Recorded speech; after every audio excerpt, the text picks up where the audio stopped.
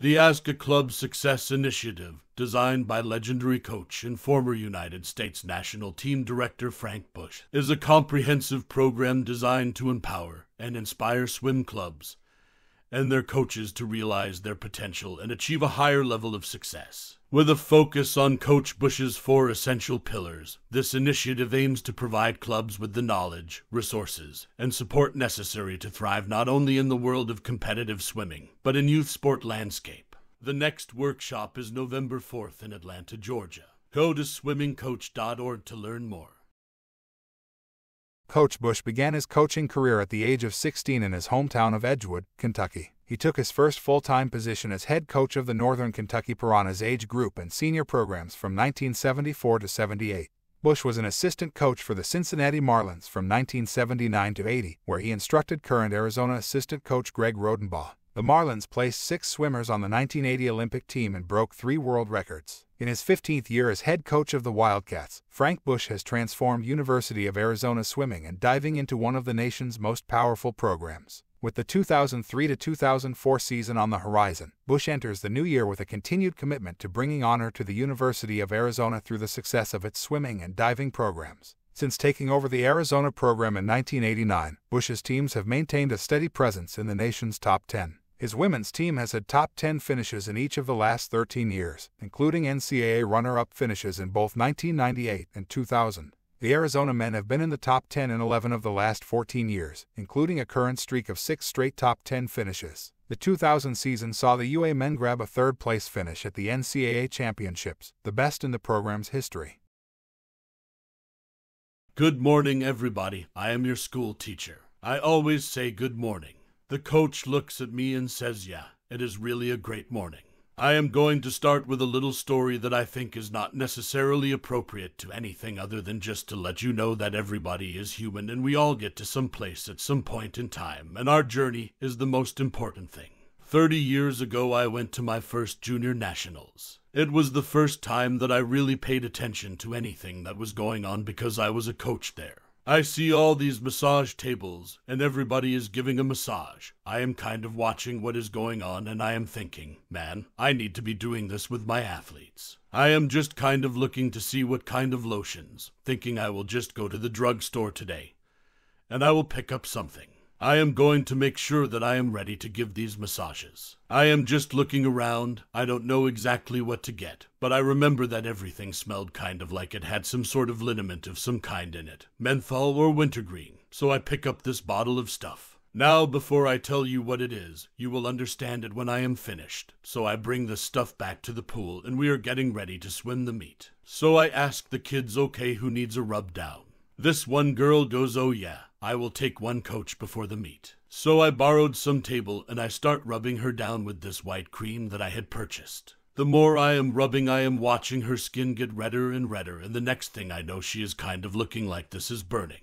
Then I noticed there was a tear running down her eye, so I say, Oh my gosh, quick, get up, go take a shower or something.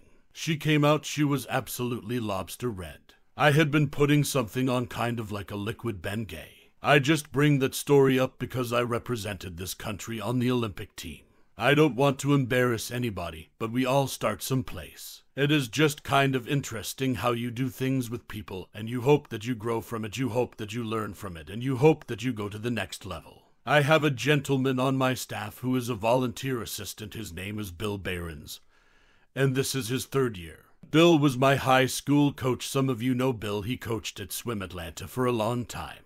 Anyway, a few years ago he had threatened to come out someday and just kind of visit because he is retired. So anyway, Bill came out. One day I just see this figure walking across the deck in the afternoon. I look and I say I know that is Bill Behrens' walk, and sure enough he just appears on deck. He comes out about six months of every year now for the last three years.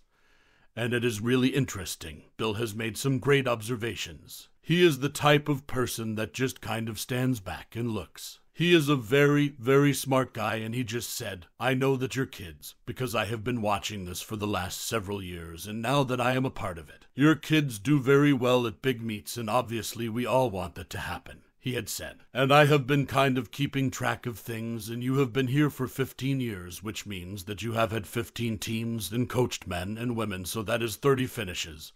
And in 30 finishes, we have had 27 in the top 10 and have had 15 in the top 5. And I think we have also had 14 consecutive years now that we have had an individual NCAA champion. Now, I only bring this up because I am going to try to point out to you some of the things that I think can help you develop your team into a championship team and help you get your kids to do well when they are at the big meets. We will touch on that in a minute. We have a coach's code with our staff, and it goes like this. I will just kind of give you a few indications of it. The first is be open to everything and attached to nothing. Be open to everything and attached to nothing, and I think it is real important that we are humble about our approach to what we do so we are always open minded to the opportunities that are out there and how much we can learn from each other and can all learn so much from each other. We share offices, every coach in McKale, which is our office complex. We are all in this building together. Close to us is track and field, and the other day a young track and field coach came into our offices, and we were just talking. He happens to be the jumps coach, the high jump and the pole vault coach, and we were just talking about some ideas and some things. We were just sharing ideas about kids and different techniques, and because he was expressing some of the difficulties he was having with some of his jumpers, he shared what Rick DeMont said to him. Rick said, Have you ever tried working with your kids without having a bar up? The young coach just kind of looked at him, and it almost made too much sense. The idea was just coming at it from a completely different angle. Go ahead and do your pole vault at your practice, and go ahead and do your high jumping. Just leave the bar off because a lot of times the bar is the limiting factor. It was just such a great concept. I bring that up because Rick always, without using the cliche, thinks outside of the box on a lot of things. It was just a great concept. Be patient. Be patient. I have a 24 hour rule. We all get angry at times and we want to deal with an issue or want to make a change, but give yourself 24 hours to let your emotions subside so you can think about it without any emotional attachments. I just think that is a good rule for life to do that, also trying to individualize whatever is appropriate. There is nothing the matter with taking a kid that is not quite on board with the whole situation, or a couple of them, and trying to individualize things a little bit more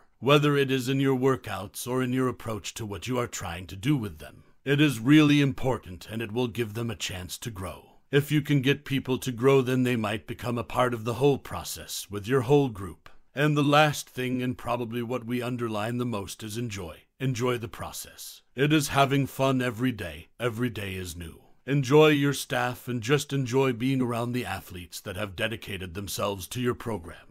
We have a swimmer's code, and I would just like to show you something here. We have a playbook for lack of a better term. It's not like we are going to run 36 slant left or something like that as they do in football. But in this playbook, we have a wildcat code which we call a swimmer's code, and it says, Show up, pay attention, tell the truth, and honor your team with your effort. I think when you are working with a group of people, if you can have a basic concept, and a basic code that they can relate to, and it is something that you can refer to. It is a great way to motivate your kids and a great way to mold them together as a group. If you think about our sport, our sport is such a repetitious thing. It can be. There are times when not only are you asleep on deck sometimes, but they seem to be asleep in the water. The part that we certainly point out a lot is paying attention because athletes are swimming up and down the pool all over the world. What makes kids better? Think about that for a minute. If all you are doing is just going up and down the pool, and maybe you do that more than any other team in the world,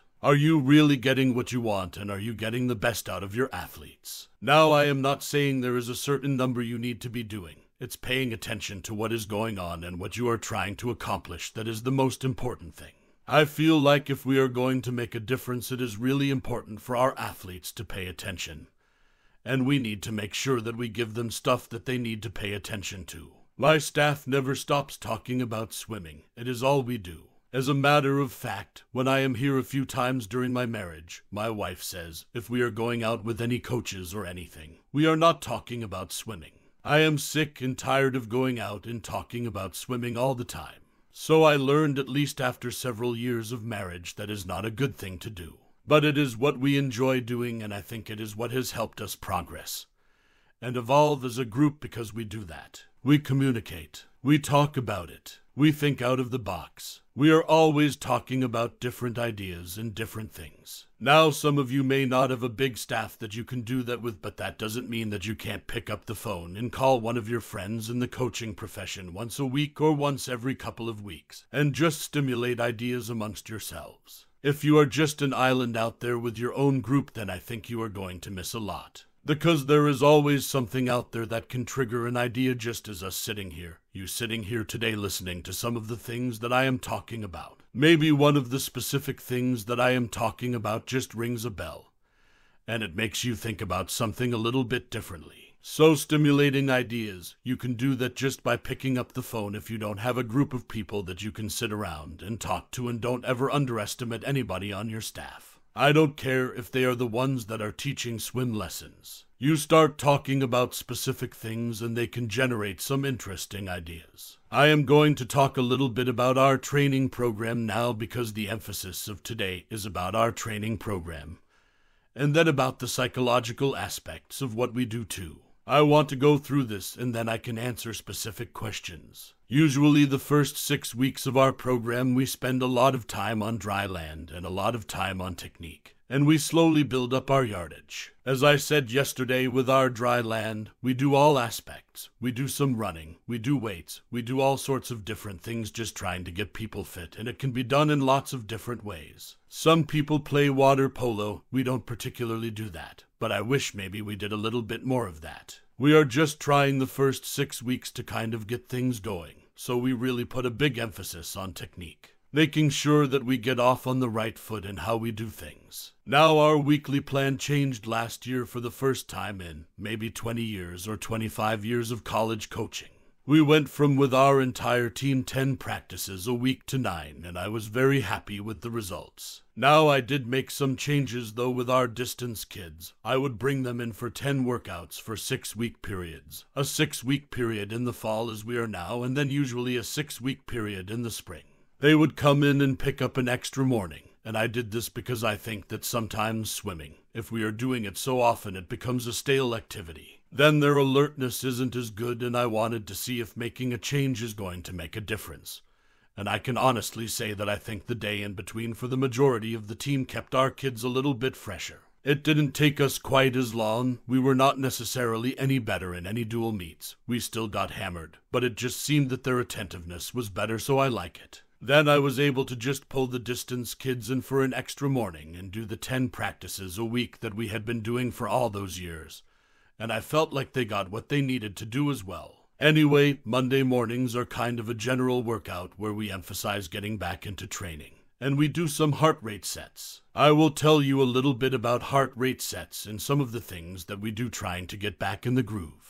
The IMers always do some weak stroke work in the morning, and you will hear me repeat that every morning because we do weak stroke work every morning.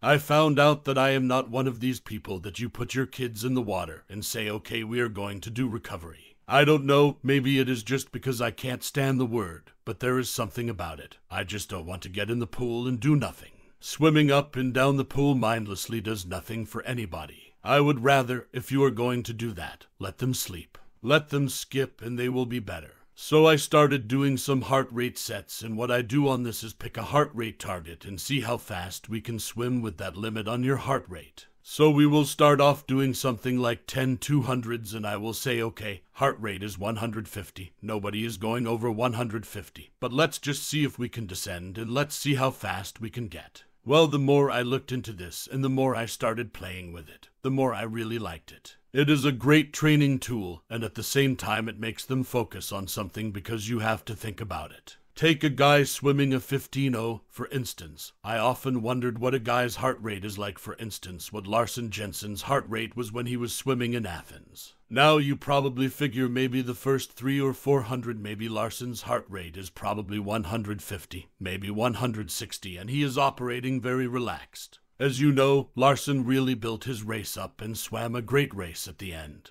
The two people that I think made the big difference, John and Bill, are sitting right here in the audience. So you get to that point in the swim, and then all of a sudden the heart rate is going to be elevated because the effort has picked up. And the heart rate moves into the 170s, and then the 180 range as you are going through the race, it is getting higher usually. You often wonder what the peak of that is and how long can you hold that. Think about that, even with a sprinter, the guy's going a hundred. At some point in time, they are not swimming as fast as they were in the middle of the race because their body cannot tolerate the heart rate, the lactic acid that is being built up. So, if you can teach, catch where I am going with this, teach someone to swim fast at a low heart rate. If they can learn to do that, then you are teaching them not only technique about what you are trying to get them to do at a speed wise, but you are also training your heart muscle, and I think the bottom line, that is what we are trying to do. If you want a kid to swim a great 100, you want him to be able to process a 200 heart rate for however length of time, or even over a 200 heart rate. If you want a distance swimmer to be great, how long can they handle a 180 heart rate, maintain their speed, and their stroke technique? That is an area that I am kind of pursuing, and in the last couple of years I have been doing something with it, and I think in some ways we are making some progress. If nothing else, I am having fun with it. I really don't know what they are getting out of it. We also do 20 to 30 minutes of the power tower work that I just call racks, different racks, and we do that on Monday mornings. On Monday afternoon, our emphasis is on a challenge set, and this is why I do this. At least at the collegiate level, I think kids like to have feedback. They want to know what they are doing, as if they have a biology test on Friday. They want to get the results back on Monday. They want to know how they did. Well, if you consider the fact that our last practice is Saturday in the morning and we have a day, and a half off. We have no practice Saturday afternoon, and we don't have a practice on Sunday, so we just kind of get back into the groove on Monday morning. We want to do something Monday afternoon where I challenge, and they can sort of grade themselves as to where they are. That is the only time during the week that we can actually compare week to week. Because once the week starts and you start training hard, depending on how cumulative the effect of that training, as I am not so sure you could have really any measurement. A true measurement, anyway, so that is what we do Monday afternoon. We do something to challenge them somehow, not always the same set, obviously, but it is something that we can do and at least get an idea as to where they are and what they are doing. Tuesday mornings is when I bring the bee people in. We usually do some pretty heavy pulling on a Tuesday morning, and it is just the thing. It is filling in the area that I think is what we need to do that I can't put everyone else into, so it is usually extra pulling, and it is usually some sort of a short rest type of set as well. Tuesday afternoons, the majority of our team goes to the weight room, and the ones that don't are up on deck, and we do a very strenuous dry land program with them. I have a dip bar up on deck. We do dips and we do pull ups as a team Monday, Wednesday, and Friday. Monday, Wednesday, and Friday in the afternoon for a half an hour before every afternoon practice, we do dry land work, which includes pull ups, lots of med balls, lots of abs, and it is very intense, and it is for a half an hour. On Monday, Wednesday, and Friday, the distance people are not doing pull ups. On those days, they do some dips, push ups, some rope twisting, a lot of abs, and a lot of stretch cords. We also do our arm exercises on deck with body weight, mainly with our distance people. They never go in the weight room, and when the distance people are finished doing their dry land, they get in, and we usually do a four to five thousand main set of some type with them. By that time, the rest of the team has come up out of the weight room, and we finish the workout with a major kick set, somewhere between 25.0 and 3000. So, if you can follow my line of thinking, which is not necessarily the line of thinking that you need to follow, but my line of thinking is that if we just spent a lot of time trying to get stronger in the upper body, I doubt if I am going to get a whole lot out of them swimming, so we just decide we are going to get a lot out of their legs. I think it has made a big difference in the performance of our athletes because there is something about kicking. You know, I look at kicking as 90% willpower. That is just what it is. There isn't anything pretty about it. You can do it in all sorts of different positions and whether you use a kickboard or anything else like that, but it is just 90% willpower. And that is just what it is. There is a lot of peer pressure in kicking, and I like that. Everybody, if the majority of the team is kicking with a board, they are looking around to see where people are, and we kick. Just about all of our kick sets are long course. I don't think kicking short course is nearly as good as kicking long course. On Wednesday mornings, we usually do some sort of a descent set, and again, the IMers do weak stroke work on this part of that. Again, we spend about 20 to 30 minutes on our racks in the morning, and then we get to Wednesday afternoon. Wednesday afternoon is strictly come in, warm up, and then it is race pace stuff. Race pace or faster, so no matter what you do, whether you are a 50 person or you are a 15 person, it is race pace. Or faster. We have different sets that we do, not right away at the beginning of the year, but as we get into our dual meet season. We will start going off the blocks on Wednesdays and we just do a variety of different things. A variety of different sets trying to go at race pace or faster. Now, think about, for instance, the distance. We sort of get hung up with doing 100s because it is hard to swim at race pace, or faster, obviously, as you go up in increments of distance. But I am just trying to do some different things, thinking about how we can get somebody to go a little bit faster and swim a little bit further. So, some of the sets that I do, yes, we still do 3100s on 130 trying to hold best average or mile pace or faster, but we will do some 150s where we will try and hold those at the same pace instead of doing 100s. Then something else that I really like doing is a set of 250s short course on 4 minutes where it just kind of gives you gauges as to where they are maybe swimming a 500. For instance, we might do 8 or 10 250s on 4 minutes and I will ask them to descend either 1 to 4 or 1 to 5 but I make them start at a pretty fast time. Someone like Reich or when Chad was in our program, I would ask them to start to descend from 220. So if you double 220, that is 440. So you are starting your first 500 out at a 440 pace. You decide descent from there, so it is a very specific and a very tight descend. I have seen some of the really good athletes get down to 208 on something like that. Double that that is going a 416 in practice. That is moving pretty good. Now, granted, that doesn't mean you are going 416, but the idea is that you are trying to raise the yardage increments so you can swim a faster pace for a little bit further distance. Thursdays are pretty much a repeat of Tuesdays, and if you get to that point in the season where your kids are looking extremely tired, you can throw in Thursday as recovery more. Go back on some technique. Maybe put some fins on them or do something that just sort of allows them to maybe catch their breath toward the end of the week. Because if you lean on them all the way through, and I am sure high school kids are the same, if you lean on them too long, it gets to a point where they just get over a cumulative effect of a week, and they just get really stale. Then you are beating a dead horse, and I am not so sure that is the direction we want to be going in. Friday morning, we try to do some speed stuff with short rest. This is for everybody. For instance, one thing that I like to do long course is to take the best kids and do a 100 on a minute and a 50 on a minute so they are recovering and do that maybe 15 times. But there is a little bit of active rest involved. Or short course sometimes we will just do 24 75s where you go 3 fast and 1 easy on a minute. Sometimes we will go rounds of 550s on 40 seconds, best average with a minute break. We might go maybe 6, 7 or 8 rounds with that and with our sprinters we will do the same thing. Middle distance, we will do the same thing. It is just swimming fast, not with a lot of rest, but the distance is usually a little bit shorter. We are also doing weak stroke work with our IMers, and at the end we also work on our racks. I feel like if you got something and you believe in it, you need to use it, so we use our racks for sure at least three times a week. We use them for 20 to 30 minutes at the end of our practices on those mornings. Then Friday afternoon, we have some pretty exhausted kids, both mentally and physically, and so usually our practice is a little bit shorter on Friday afternoons. We usually do some sort of a descend set, trying to just send them out of the pool, where they have done something that they feel pretty good about, and because they are coming in the next day.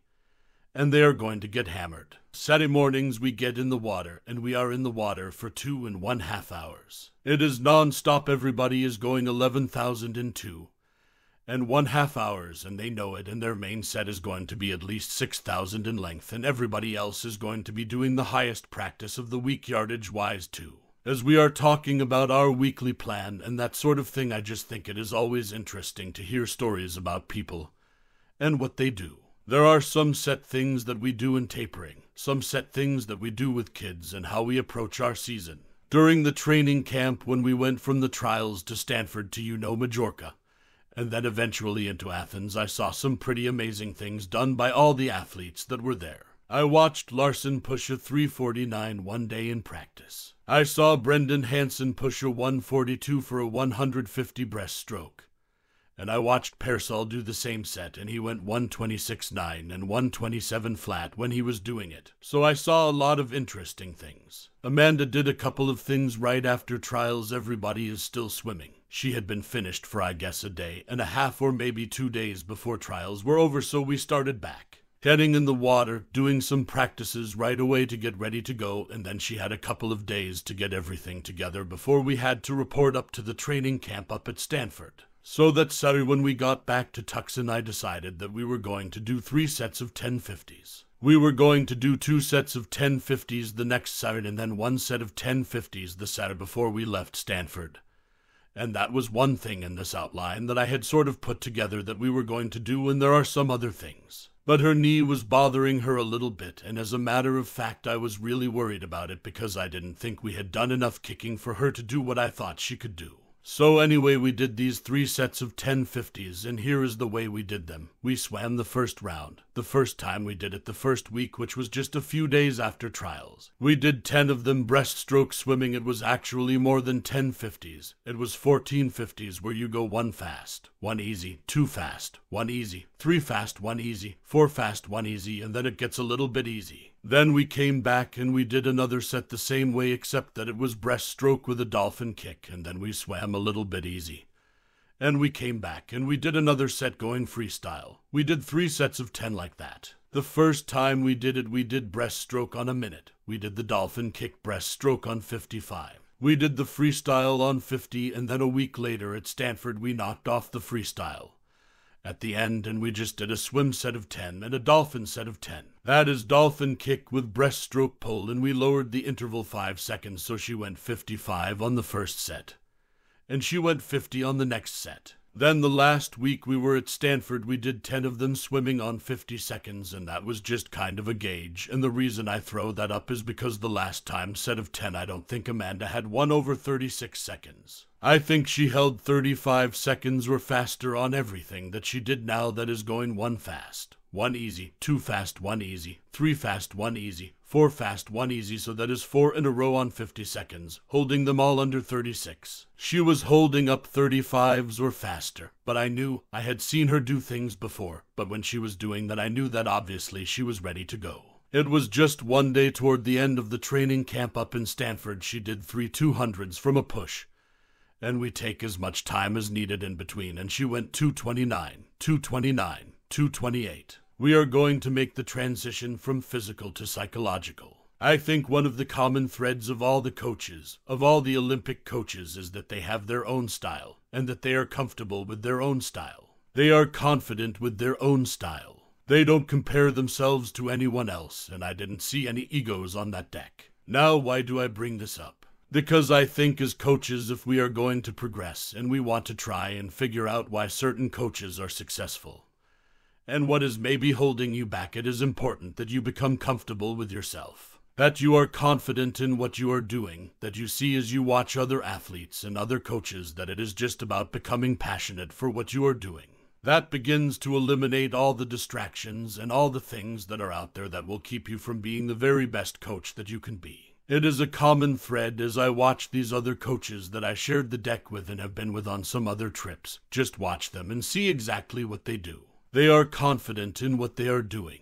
They really are not worried about what anyone else is doing or what anyone else is thinking at that particular time. They are focused on their athlete and what their task is at hand. As we talk a little bit more about this part, about psychological preparation of your athletes, it stems from the coach. The impact that the coach has on the athlete is not just physiological, it is psychological. And the psychological dimension of our program is directly related to our success.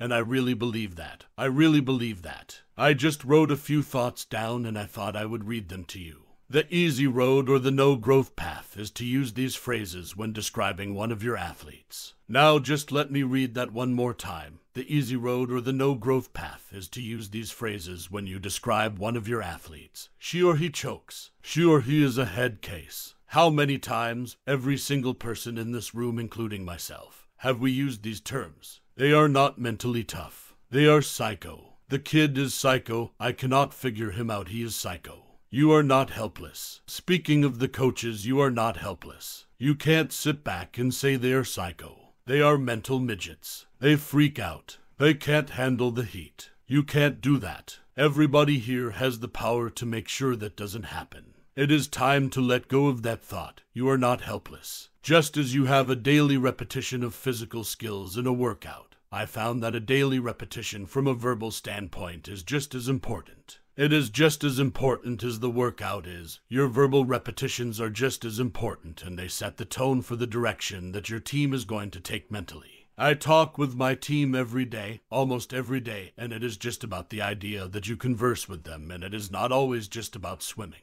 It is about life. It can be related to swimming. It can be related to anything, but they get to know you a little bit better, and the more they get to know you, just as the more you get to know them, you start reaching a comfort zone and that is certainly not and should never be a threat to you. You have complete control and don't feel like if you let your guard down, your team is going to run away with it. Your team is not going anywhere. They are there because of you, and they are there because they want to be there. They want to be a swimmer. So we talk about all sorts of things. We talk about all sorts of life situations.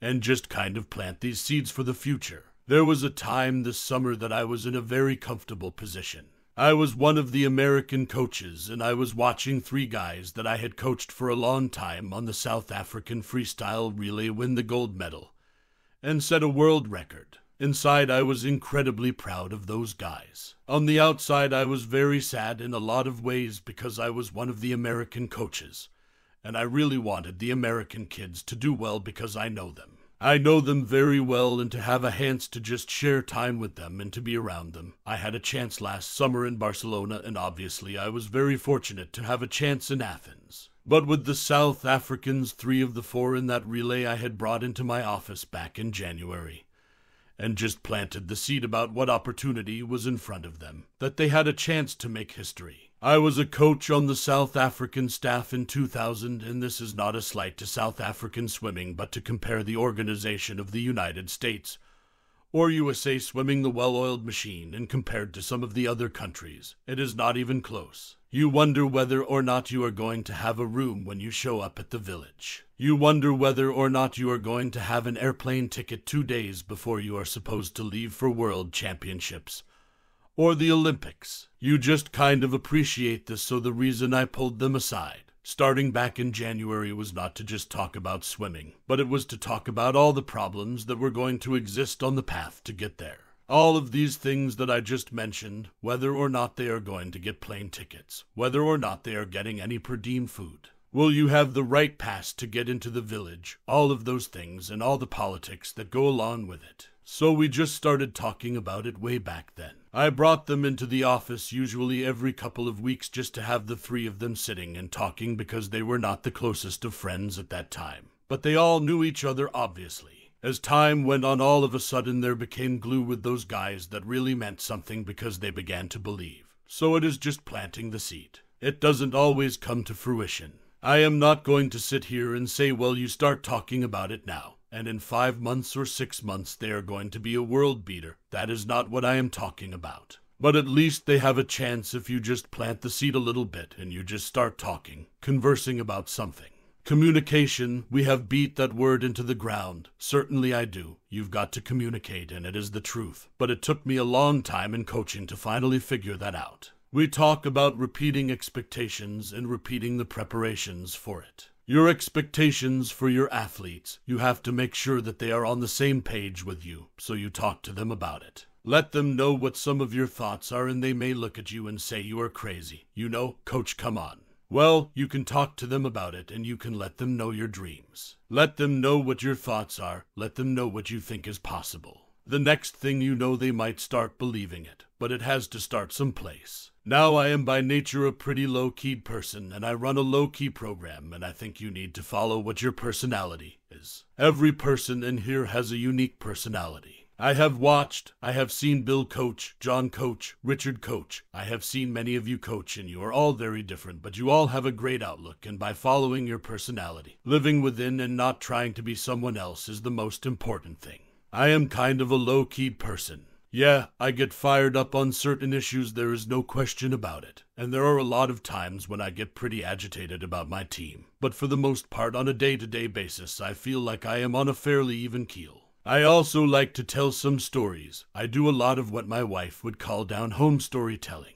There are some coaches that are great at it. I don't know if I am particularly good at it. But again, it is good to let your athletes see you in a setting where you are just you and not someone that is way above them. Because the more they can connect with you, the more you can ask from them, and the more they will give. I want to talk about big meets and how we prepare kids, and I have a few stories to go along with this. Our expectations are high with big meets, and we have been pretty fortunate over the years to have had some pretty good success at most of our big meets. You have got to trust that you're training. The kids have to trust that their training has been as best they could do. I don't think there can be any doubts when you go to a meet that I am not prepared enough physically to do my best time, so it is important that you make sure that they are physically prepared. That is kind of a given. That is pretty obvious. There cannot be any emphasis on the past or the future. When you get to the big meet, you can't talk about what you did last time. What am I going to do this time? It cannot be on the past. You have got to be present in the now, present in the moment. You have got to be ready to uncork your energy now at this time. When you think about that, well, yes, it is pretty obvious, but none of it is obvious if it doesn't work. You have some kids on your team that you don't need to say anything to, and you have others on your team if you don't say something to them, then they don't have a chance. So you just can't herd them all together and say, well, you have got to be tough sons of bitches and you better get it done because that is the way it's going to be. And some of them are looking at you going, oh, because not everybody is the same. Did you ever notice when you are working with your athletes at a big meet or even if it is just a dual meet or a low key meet? I have noticed this. When you start talking to somebody at a big meet, they are in tune with you. I mean, you could tell them something, and their eye contact is a lot different than it is when you are swimming the Southern Cal Invitational or something like that when it is just another meet, and I can't wait to get out of here after the prelims are over. That high intense alertness is something that you need to see, it is something that you notice. And when you see that type of alertness, obviously, that is a really good thing. They are paying that type of attention as opposed to a deer in the headlights. I want to tell you a little story about deer in the headlights with a young lady that I was coaching last year at NCAA Champs. She was seated 52nd coming into the meet. We are getting ready for her event. The meet is going real well for us. We are getting ready for her event, and I know it is not going to happen. I just know it. I can tell by the body language, but I can just tell by looking at her eyes. It is not going to happen. Okay, so what am I going to do? Am I just going to pull her aside and, you know, just get in her face? Well, I don't know. I just don't think that is going to work right now. But if I don't do something, it is going to be ugly. It is not going to be good, so I pulled her aside and emphasized the fact that competition is something that every kid in that pool has a need for. It fills a void. They wouldn't be there if they were not going to be competitive, so let's make a game out of it. So I proceeded to talk about this being your chance to play your game. I went into a lot more detail, which I don't think I have time to talk about all the things that we talked about. But it was just the idea that you had to address the situation or it wasn't going to work. We needed her to do well, and by the grace of God, she qualified eighth, and she was seated 52nd. Now, whatever I said to her, I think made a difference, just the fact that I addressed it. A lot of times, we as coaches are like, there goes Psycho again, and I don't want to deal with that, so you say, Bill, you take care of her, you know, you go talk to her. Somebody else take care of this. Well, you can't do that. You can't do that because that is not what you want to do. You have to address the situation, so don't be afraid. Address it, start somewhere, and if you talk and it absolutely blows up in your face, give them a different talk the next time. That's all. But don't just act like, oh, that person is going to fail and somebody else take them because I don't want to deal with her or deal with him. You can't do that. I also think that there is way too much overcoaching done at meets. Way too much overcoaching, and I see it on the Olympic deck. I think what you want to do when you send your athlete up if they are pretty nervous or if they are not quite ready to go, you just give them a little something to focus on. Let's just build that first 50 or make sure that you set your turns up right, just something to take the edge off. Not something to confuse them and not something to frustrate them, and definitely not something to take their anxiety level, which is here to even a higher level, because what is that going to give them? I mean, they are already down their leg. I think it is so important to enjoy the opportunity. So we talk about making sure that every one of your athletes came and became involved in athletics because it is a competition that fills a void in their life, and they like it somewhere they like that. I know that sometimes it is hard to look at them and say, How could they be enjoying this? They look so scared. They are so nervous. I mean, they have chewed their fingernails down to their knuckles, but there is something about this that they connect with, and so why not give them the opportunity to be as successful as they can be? I am just going to wrap this up with a few entertaining stories. Every single one of you has had some interesting stories with your athletes. I have a young lady that swims for me. Her name is Emily Mason, and Emily is a great person, a hard worker, tough as nails. But the first two years at NC2As, we had some problems. Her freshman year, she went and seeded number one in the 500, didn't make the big heat after prelims, and then wound up getting second in the banana heat. Then the next couple of days didn't make it, and she was well seeded top three in the 400 IM, I think, or certainly top three or four didn't make it into the big final. Didn't make it into the 200 fly, in which she was seeded the same way, so it took me a year to get to know her a little bit. And then her sophomore year, she swims the 500 free, doesn't even make it into the top 16.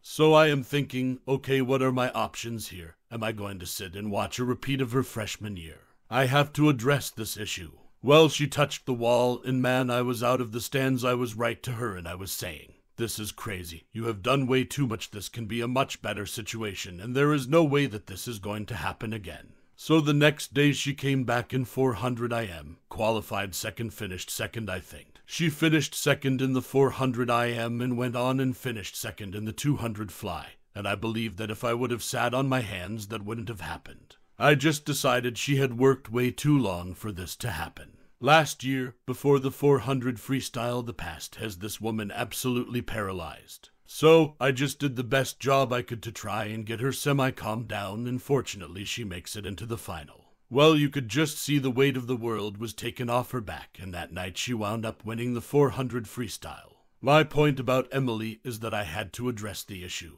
I had to. I couldn't just sit there and watch a kid self destruct because I had to figure out a way to talk to her. I owed her that as her coach, and more importantly, we need Emily to do well for our team to do well but it is just about addressing the issue. When Chad Carvin was a sophomore, he set a couple of American records in the 500 and the mile at NC2As, and he beat Tom Dolan. Tom Dolan turned around the next year and broke his records, but anyway, I will never forget Ted swam the 500 and he won it. The next day he swam the 400 IM and did real well, and I am warming him up for the mile two days later and I am thinking I have to make sure that I got this guy right. And he just looked up to me and he said, Coach, it is all right. I know I got a good one in me. I just put my watch in my pocket and I got away from him because I knew it was over. It was going to happen in spite of me, it was going to happen. Amanda at Barcelona last summer, I was warming her up, and if there was ever a time that I saw an athlete being one with the water, it was warming her up. I just knew something special was going to come. Amanda's best time was 225, and she went 222.9 to tie the world record. And I just knew watching her warm up that the best thing for me to do was to not say anything. I just watched her and watched her rhythm and her flow, and you just get some moments like that where you just watch somebody. And you are just, wow, that is it, what a gift. Someone said to me the other day, coaches think they are great. You are doing really great. Some of the coaches heard this before. I said talent makes you look good, and I know how to wear it well. I will tell you one more story. This is about another girl, Sarah Tolar, and she had swum the first couple of years and did well at NC2As. She had really some great swims, but unfortunately, I think she had qualified third in Olympic trials and wound up getting seventh and missed the team. Boy, talk about a deer in the headlights, and boy, I wish I had that moment back because I know I could have made a difference with her. But it is just like anything else, you kind of grow and you kind of figure things out in time. Anyway, Sarah was a great 500 swimmer in college. I mean, her freshman year she just went crazy and went a 442 in a meet in the middle of the year. Then struggled with that, struggled with the 500, and in college, just the way the events are set up, you have to try and jockey people around and figure things out. At the same time, don't take them out of what they need to be doing their best in and what is going to help them and help your team at the same time. Well, we never had enough sprinters when she was in college, so she always had to swim the 200 freestyle relay, which was the very first event. And the 500 is right after that, so trying to sprint a 50 and then come back and try to figure out pace within about 10 minutes' time showed some great coaching on my part. I screwed her up for a couple of years, real good. But anyways, she swam the 500 her junior year and swam the relay, swam the 500, and she was one of the top three seeds, and she didn't even make the top 16. So, boy, I am out of my seat. I am down on the pool deck, and I just start talking about what was going on and how this meet was going. and there is no way it could continue going in that direction. I have learned from addressing the issues, and the next day she won the 200 freestyle. I have learned that we cannot stick our head in the sand as coaches. We cannot do that, and it doesn't matter what you do physically with your athletes. I don't care how prepared they are physically. If they are not prepared mentally, they are not going to do as well as they can do. As a matter of fact, I will take a kid that has it together emotionally and psychologically over a physically trained athlete any day. Now, if they are both physically trained and they have it together psychologically, obviously you have the whole package. But as coaches, we cannot stick our head in the sand. We cannot avoid the issues, and not any of us here wants to just go and sit down and talk about psychological issues with anybody, let alone ourselves. If you start having a heart to heart talk to someone about your personality, and some of your personality flaws come up, that is not something we all want to sign up for. Yo, just tell me how weak I am in those areas, and your athletes don't either. But if you don't take the time to address those issues and you use the terms they are psycho, they freak out. They are a mental midget. They cannot handle depression. And they choke what is that going to give us? It is not going to get us anywhere, and we are certainly not going to progress. So if there is any message I leave with you today, it is just to take the time to get into the heads of your athletes by nothing else. But communicating with them and sharing parts of your life and different things that they can relate to. They are much easier to give up some of the things, some of the ghosts in their closets that they have accumulated over a period of time. So then you get a chance where they can be the best that they can be, and by them being the best that they can be, it is pretty obvious that you will be the best that you can be.